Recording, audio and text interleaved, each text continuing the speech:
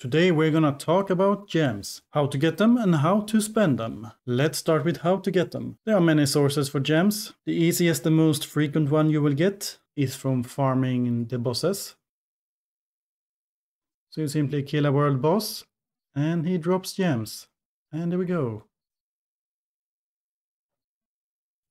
Here you can see the gem. If you want to farm gems, the normal version of the bosses is the best one to do it, as they cost the least keys.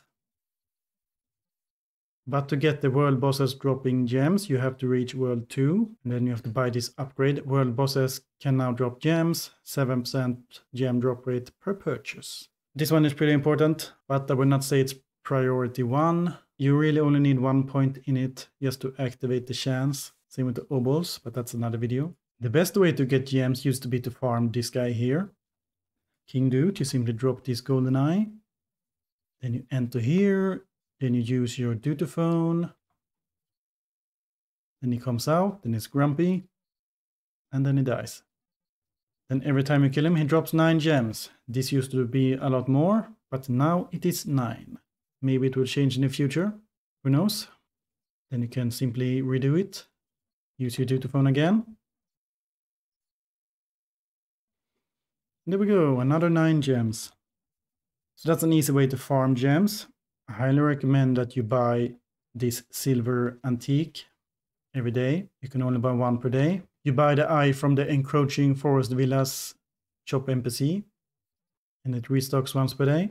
And this is the recipe. Gold bar and ghost and an eye. And then you get nine gems. Here you can see a giant monster. They are a lot stronger than the normal ones and they drop a lot more items. They can also drop gems and uh, candy. You can see my booby doesn't even scratch it, I was gonna say, but can you please go down here and focus on it maybe? Yeah, there we go. His H bar is barely moving. And well, there he goes. You can see we got gems, candy, got four gems. You can see the giant mob odds. It goes up every time you kill a giant. To be able to get a giant, you need to have this Tachyon of the Titans prayer active. You can check here in the AFK info if you have the prayer active or not. And that's about it for the giants. If you go here to World 2 Colosseum, there is a mini boss in here. Doing Colosseums is another way to get gems, but it's very inefficient. The chest can drop gems and some of the bosses can as well. You can spawn big hours on your own by taking some googly eyes to the mimic zone and dropping them next to that hourglass we saw before we entered. You can see here Biggie Hours has a chance to drop gems. But if we look at Baba Yaga, she does not. Oh man, this fire thing is really bad during a Colosseum. You run so slowly. And then there's King Doot, of course. Here we have Biggie Hours, and he drops some gems. Just like that, we got four gems. Let's see if we can get any gems from this. Oh, we did. And there we go. Now we have 7 gems. That is not very efficient gem farming, but it all adds up. We can get gems from the post office, but as you can see, we did not have any luck here. Let's see if we can get anything. I Guess we will not. But I'm pretty sure you can get some gems from this, but it's very small amount, like one. But here in the arcade, you have a pretty big chance to get gems. I used up like 700 balls before and I got 300 gems, but you can see you can get 2000 if you land on the blue, 250 from the red, 50 from the purple, 16 from the gold, 4 from the silver, 1 from the bronze, and nothing from the... Not even sure what this is supposed to be. And you simply launch a ball like this. The first item is a portal, okay. We have a second portal. Come on, give me something good. Oh, why did you fall back into the bronze zone? We have a golden portal. He lands in the silver. But here in the alchemy, here is a guaranteed way to get gems. You can buy gems by spending this water that you get for free. One gem, perfect for buying things in a gem shop. Two gems, that's two steps closer to buying everything in the gem shop. So we got six gems from that. There was one more thing here in the alchemy, the level up gift. Whenever you level up anything, 60% chance to drop a gift. It could be an XP balloon, a gem for the gem shop, or something crazy weird. Let's try to level up shopping a bit, see if we can get anything. Oh, we got some gems. Some more gems. More birthday books. And yeah, we got three gems. And we got some potions, some gems and statues, more books. So that is pretty much how the level up gift works. It's very good to have on your new characters as they level up. But eventually you will get a bigger reward by having a proper bubble. I'm using Hammer Hammer and Call Me Bob on most of mine and the XP bubble on a few. Call Me Pope could also be used instead of the Bob one if you care about tower defense. Anyway, that's it for the level up gift. And if you talk with any of these guys, Grassland the World 2 and World 3 version, or World 4 version, you can go here to Recipe Unlocks. This is where you can unlock special, well, not really special, but improved version of old gear. If you scroll down to the bottom, you can see you can actually unlock gems here. You get 50 gems, 70, 70, 5, and 5. You get pretty stingy here at the end. And there might be more in the Anvil tab 4. I haven't unlocked that one yet. And you get this point by doing the dailies here, mainly, but also the permanent missions here. You can see you get 8 points if you do this one. And here if you do this daily, you get 6 points.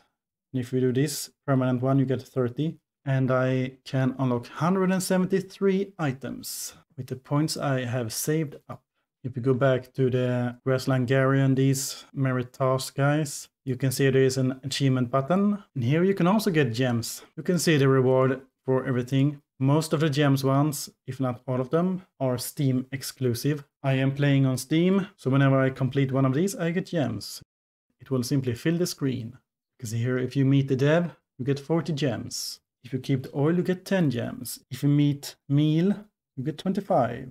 If you make your fourth character, you get 16 gems. Reach level 60, 16. Reach world 3, 25 gems. Reach world 4 and, and you get some gems and candy. No longer saying the exact amount. Here you get 50 gems if you trash a total of 2,500 pets. I have 852. Here's the maestro. He has a special skill. Well, actually, it's the journeyman that has it. It's your birthday. Drop some random reward. Has a 26% chance to have new cooldown. And you can get all kinds of stuff from this, including gems. You simply click it like this. And bam! You get some gems. Well, you may get some gems. That was actually pretty damn lucky. At my current skill level, it has a 26% chance to have no cooldown. We did not trigger that, but we did get gems, so it's fine. That's it for the Maestro skill. It's technically a journeyman, but if you have a journeyman, he will most likely become a Maestro, so yeah.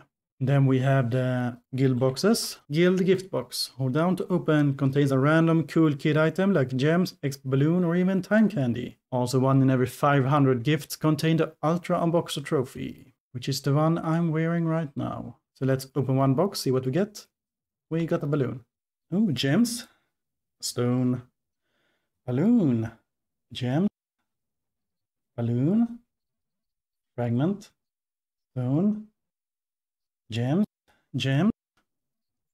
Stone. Candy. Gem. Fragment. Candy. Gem. Gem. Gem. Stone. And fragment. 288 gems. Then there are two new mini bosses came recently, one in World 3 here at the refrigeration station and one in the Spaceway Raceway in World 4.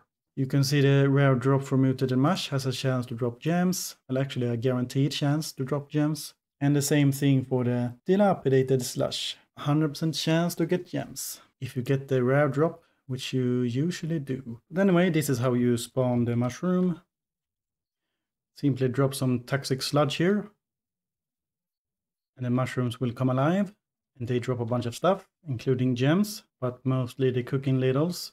And if we go here to world 3, drop this bucket of snow slush thing. And then we get a lot of gems and other stuff again. So that's how you spawn and kill those two mini bosses. I recommend you spawn them once every 7 days. If you kill them at the same time, you can check with the mushrooms. If you have two mushrooms, then it's okay to kill them. Because it's easier to see on the mushroom, compared to the snow pile. It simply grows bigger and bigger. One of the best ways to get gems for free without much effort is to type this into the chat. If you allow me, let me go. Then every hour, every zero zero, this game starts, the spike trap surprise. But you can only do this game once per day. But here you have a chance to get 40 gems. And 40 gems per day is not bad at all. And here we go. Now the question is, how long will we survive? Let's try this usual spot. Oh, goodbye. And that surely makes your day better. Wow, we survived again. I think we found a magical spot here. I was gonna move, but seems we... Yeah, I guess I should have moved. And we got a few gems. Six gems. And that's how the spike mini game works. If you go back, you can see it says come back tomorrow. And the next game starts in 58 minutes. You have to be here on time. Yeah, that's about it for the spike mini game. Then of course there's a gem shop that is the fastest and most efficient way to get gems. Right now we have the Giftmas bundle that was supposed to never return. But now it has returned and it's pretty damn good. I would say this is the best bundle in the game ever. You get the snooze hats and a big pile of gems and 250 gift boxes. But then you can also buy a mountain of gems. This bundle rotates depending on if you have bought it or not. So people that already bought the gift Giftmas bundle will see something else here. You can only buy each bundle once. Then of course we have the quest. There are so many quests that gives you gems that I can't mention all of them. Because here rhyming is key. Gives you 8 gems. There's a lot more than that, but I have completed uh, 163 quests already. So let's see what's inside here. Here we get 25 gems if you kill 30 boobs. Really easy quest. Here we get 2 gems. Here we get 3 gems. And so on. So your main sources are bosses, mostly the world bosses, and of course the mini bosses. Your alchemy is a guaranteed source of gems. They will never run out. Of course, instead you will run out of water, so you can't buy too many. I buy one or two of these per day, and one or two here as well, depending on what I need. Maybe some days I need a lot of the water, then I only buy one. And here's the Tachyon of the Titans. I recommend that all your characters have this active. There is rarely a reason not to. If you get a giant at boobs, you get a lot more bone meal from that kill. And you need the bone meal to get these death wish rings. And they are pretty damn good for a long time in the game. I have uh, replaced them with the midnight stopwatch for now. But that's mainly because I'm not killing any bosses. If I need a boss damage, I can just change to these guys. There are a few out of game sources to get gems. This is Lava Flame's Twitter account. And he sometimes have Twitter contests. They are usually pretty simple, just retweet and follow and stuff like that. This one is from December 2020. Seven people get 5,000 gems. This one is for other skilling. 2019. That's his other game. Then we have another IdleOn. One person who comments give me gem now will win 4000. This guy does not want his handouts. Out of this world pack giveaway. I actually won this pack. That's why I have the wings on my main character. So hey, proof that it actually works. And I didn't win because I have a YouTube channel or anything like that. In fact, that is probably a negative. I won because, well, I got lucky. And here are a few extra things you could win. Then here are a few people that won the summer pack, the summer bundle rather. And yeah, that's about it for Twitter. I don't really use Twitter, so this is what it is. There is not only Twitter contests, there is also Discord contest. Well, Discord is actually main focus. Here you can see a bunch of people won 7,000 gems on contest 46. In contest 45, a bunch of people won 3,500. And here is me. I actually won uh, contest 44 by getting my viewers to type in my best friend is pick an axe. That was pretty funny.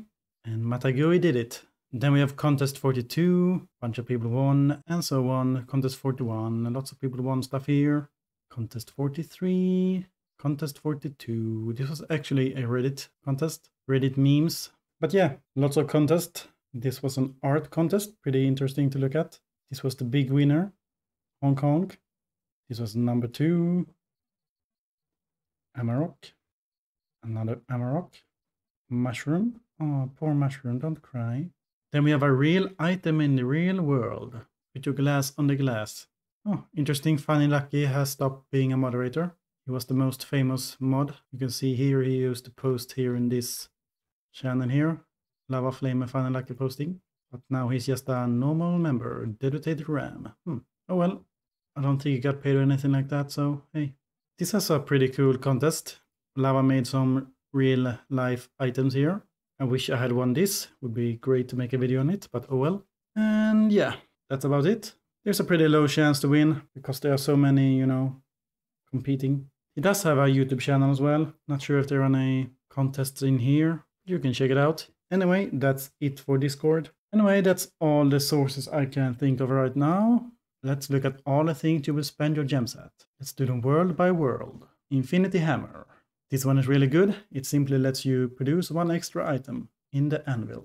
Eventually you will get a bubble in the alchemy that lets you produce an extra item for free. So with this you get three items. Pretty cheap and I highly recommend it because you will always need anvil items. This one is not really worth buying until you reach the end game with the really hard ores to mine. But even then eventually you will get so much ores that you don't really care about it. I bought one just to change the appearance, but yeah, not really that high priority, but they are very cheap, so it's up to you. These are not worth buying. These are special versions of the color cauldrons. Two extra players, 1.5 faster brewing, and 1.5 higher new bubble chance. Since you have to buy this four times to get them all, it's very low priority. I did buy them, but that was like when World 4 came out, or just before it, or something like that. And that was mainly just because, you know, I wanted to. I had nothing else to buy really. But these are pretty damn good. The bleach liquid cauldrons. You have to buy these in order, and you use the water all the time. You use the water on a lot more things than the colored bubbles. It's used for upgrading all the bubbles that you have unlocked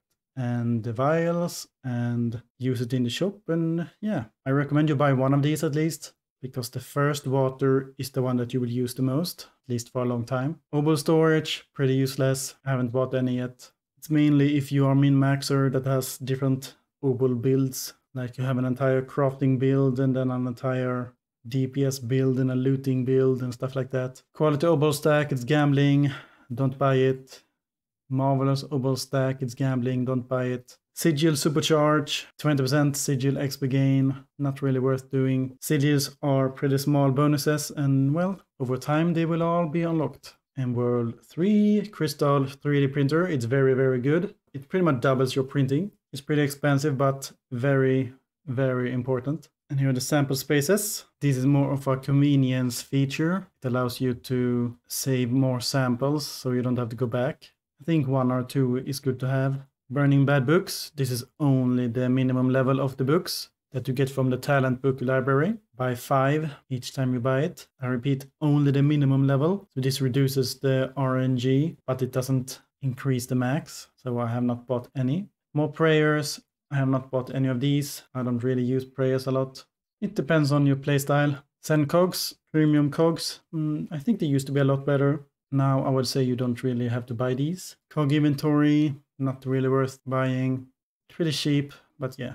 It's mainly if you are an ultra min maxer that has different sets for everything. Tower building slots. Pretty sure you can build anything in these tower building slots. So it's just an extra building slot really. And flaggies. Eventually this thing will be useless, but if you don't buy it, it's gonna take a really long time. I have still not unlocked all of them. And here we have World 4. We can only guess about the future of the you know, breeding and the cooking. Will we get new food or not? And new pets for every world? If we get new pets for every world, this royal egg cap will be really useful. Increase the max number of eggs you can store and also 1.10x new pet breeding chance. I'm guessing that's 10%. I bought all of these because I don't like doing the splicing, so I wanted that new pet breeding chance. And here is the Richelin kitchen. 3 times meal cooking speed, 2 times new recipe speed, and 40% cheaper upgrade cost. Pretty damn useful. Do know that only your first and second kitchen that will do the majority of your, you know, cooking. So you don't need all of these, and you're not gonna have all the kitchen for a long time. So just buy them as you need them. And then we have the console ship. This is pure gambling. I haven't bought any of them yet. Gives you a random console ship. There are 22 ships in the game, so you have 1 in 22 chance of getting the one you want. And yes, you can get the same one again and again and again. But here are the jewels. You also get a random jewel. You cannot get duplicates here. This one is actually worth buying. I bought pretty much all the jewels from the gem shop. You can get all the jewels and ships for free if you just wait. You get one jewel each week and two ships, I think. And then we have the souped up tube. Each time you buy it, you get two lab tubes, and the characters inside get two times lab XP gain and 30% line width. I only bought four out of five because I will never have all the players inside the lab. So there's no point buying 10 spots for my 10 characters. There's pet storage. You don't need this unless you're some crazy min-maxer that has full teams saved. And some fence charge slots. This is pretty useful, but especially for me because I'm mainly getting my pets from the breedability. I'm not using any splicing. And breedability is a slow but passive way to increase the chances you have. And then we have carton of eggs. 3 to 12 eggs. I have never bought this and probably never will. Then we have premium stones, 5 stats. You can only use it on premium equipment. I have not upgraded any of my premium equipment because I'm not sure what stone I want to use on them. You can refund it for 30 so you don't really have to be that afraid. I assume you get the stones back to refund all premium stones used on it. Hmm. Anyway, let's look at the usables. Here you can buy candy, not really worth talking about. And here you can buy inventory and storage and carry capacity and maybe a food slot. You get some food slots for free, so this is a very low priority buy. It's mainly if you want to carry some extra potions maybe. But you are gonna need all the backpack space. Well, you're gonna need all the storage spaces for sure. The game is designed that you buy these over time. Each time you buy it, you get nine storage chest slots. But the backpack space is not as needed. I highly recommend you buy a few at least, because you can increase your stack size by crafting new bags or by buying a few of these. That means you can store a lot more in your backpack without having more slots. But yeah, priority one is the storage chest. I have bought one daily teleport. You get a few daily teleports for free in game. But I think your max total that you can save goes up if you buy this here. Then the daily minigame plays. I have not bought any of these. I highly recommend you don't do these because minigames are super tedious to play. They may be fun at first, but then you realize you have to play them every day. Otherwise, you are wasting this. And talent reset, uh, never buy this. Star talent reset, never buy this. Subclass swap token, going from barbarian to squire. However, you can't change between warrior, archer, or mage, or change your elite classes like blood berserker. So yeah, it's only the barbarian, squire, or shaman and uh, wizard and so on. I have never bought any of these. You get so many characters, so you have to mess up really badly to buy one of these. Pandora's Office Box. Resets all your post office upgrade and refunds all boxes spent. I have never bought one of these. You get more and more boxes each day, so you can simply start upgrading something else if you realize that you messed up. Not really worth 250 gems. Cards, this is pure gambling. I will never buy any of these. However, the extra card slots is really good and it's highly recommended. But don't buy them until you need to. Like when you have four good cards, and then get another fifth good card, then you can buy one extra card slot and so on. Oh wow, card presets. I didn't know this was in the shop. You have two card presets as a start. This would be pretty useful for certain characters, like you have a AFK fighting build, a skilling build, but then sometimes you need a dungeon build, or a tower defense build, or a money build, and so on. However, the bad part is that if you log out to the game or you change your device, all the card presets will be wiped, so then you have to redo them all again. So yeah, 4 star cardifier. Use this on a 3 star card to upgrade it to a 4 stars. It is unknown if 4 star is the max. I mean, in the future. It's the current max, but who knows? You can simply grind this out for free by playing the game. It's mainly if you get the troll card from a card pack, because that one is not in the game yet. Other than that, the bonus going from a 3 star to a 4 star is pretty small, so not really worth the 290 gems. Dungeon card pack, Galaxy card pack, Eternal card pack, Ancient card pack and newbie card pack. Yeah, this is pure gambling, like I said, not really worth buying. Holy shit, 600 gems for an outdated World 3 stuff. Hmm. I guess it's the Bosses of Nightmares that's bringing up the price. Goods and services, arcade balls, waste of money. This is just gambling, so not really worth doing. Weekly dungeon booster, mm, maybe. Before happy hour, doing dungeons was super tedious. I have like 300 saved up without buying any of these. But now you can spend 20 for one run, or even 40 if you have a certain prayer. So it depends how much you like the dungeon. I don't like it, so yeah, 0 out of 11. Then you can buy some uh, keychains. I highly recommend that you do not do that. Then we have the hats, Straw Biggie, Popcap, Dunk, the classic Green Beanie, and the Diamond Demon Horns. Then you have the hat Premiumifier. Turns any normal hat into a premium hat. This will erase all stats and give it a plus one all stat and five premium upgrade slots. So you can't premium fire a grandma hat for the bonus XP and then thinking you're gonna upgrade it with premium stones. No, that bonus XP will get wiped. And then there is an invisible hat. So this is a premium hat that's invisible, but you can upgrade it with the premium upgrade stones, but your normal hat will show up because otherwise a premium hat always overrides a normal hat. Then you have chat rings, simply gives you different text and some symbols at the edges. Hearts, leaves, bandit bob, bubbles, strange aliens, gold, and honkers. I have the default chat, mainly if you want some fun.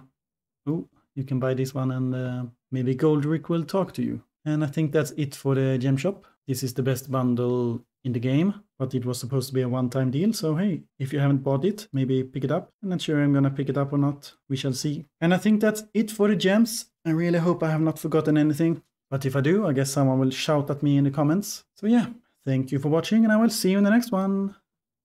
Bye bye.